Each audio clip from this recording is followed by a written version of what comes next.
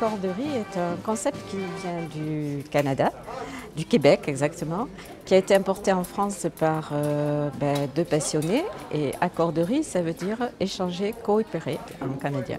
Je suis fière d'avoir impulsé ce projet.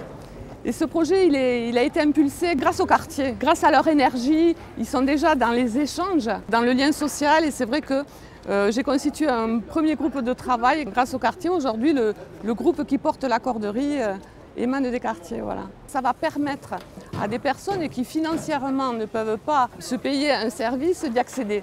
Euh, pour participer à la corderie, il y a toujours un lien avec la maison des accordeurs que nous avons derrière. C'est-à-dire qu'il faut s'inscrire, il faut adhérer. C'est une adhésion totalement gratuite.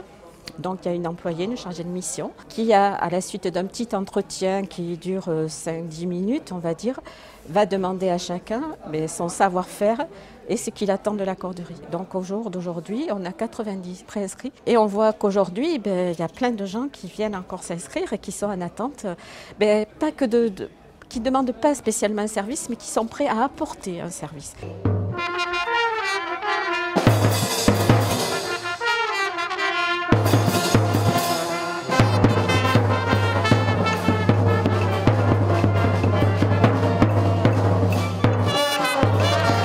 tous les conseillers de quartier, il y en avait beaucoup qui voulaient aller plus loin.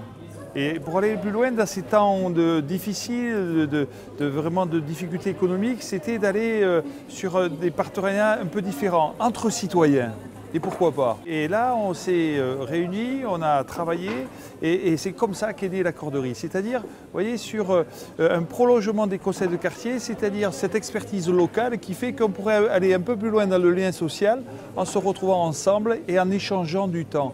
On s'est installé, on a tout remis en état parce que ça avait besoin, c'était pas comme ça et euh, on a remis à notre, comme on avait envie, comme on le souhaitait. En début, vous avez la salle, de, le bureau de la chargée de mission.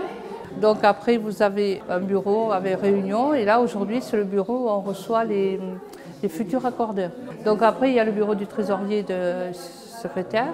Et là, on a fait un petit local pour les enfants. Maintenant, avec la rue piétonne et tout, ça nous permettra de, pouvoir participer aux animations qui vont se faire. Et nous, de temps en temps, se mettre en bout de rue pour pouvoir continuer. Parce qu'il faut recruter des accordeurs. Et moi, j'appelle tous les citoyens à Genève, euh, tous ceux qui ont envie de devenir accordeurs, c'est-à-dire de venir s'impliquer dans cette association et bien de rejoindre tous ceux qui sont déjà présents. Il y a certes des conseillers de quartier, il y a d'autres qui sont non conseillers de quartier, mais qui sont intéressés par ce thème de solidarité où, euh, bon, ben c'est vrai, les temps sont plus durs, mais on, se débrouille, on n'est pas plus bête que les autres, on peut euh, aménager des heures qu'on échange sur des compétences très différentes.